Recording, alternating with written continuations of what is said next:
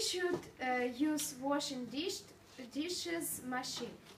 If we don't have this machine, we should collect all dishes and don't wash every dish and let them soak together.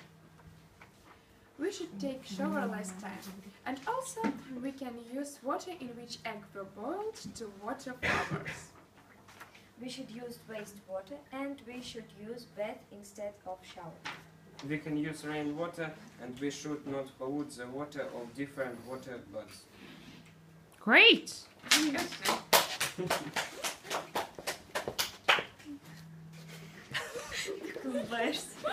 Что у меня после этого?